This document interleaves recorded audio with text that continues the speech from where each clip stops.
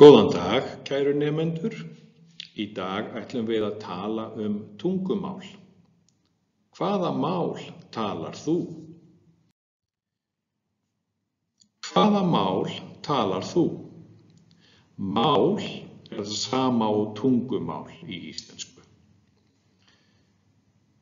Dæmi um tungumál er íslenska, spænska, arabíska, rússneska, þýska, franska, enska.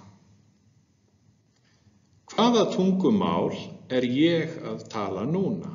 Hvaða tungumál er þetta? Þetta er íslenska. Íslenska. Ég tala íslensku. Ég er að læra íslensku. Viltu læra íslensku? Skilurðu íslensku? Svona beigist heiti tungumála.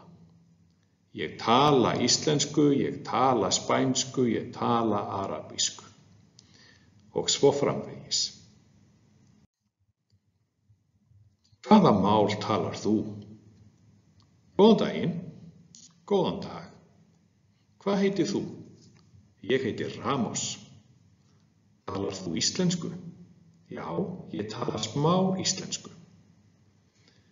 Höfum hugfast að talarðu, það er það sama og talar þú.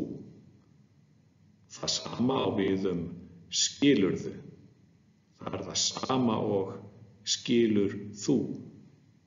Talar þú arabísku? Já, ég tala arabísku. Eða nei, ég tala ekki arabísku. Skilurðu spænsku? Já, ég skil smá. Eða nei, ég skil ekki spænsku. Skilurðu? Ég skil ekki. Viltu tala hægt? Please speak slowly. Viltu tala hægt?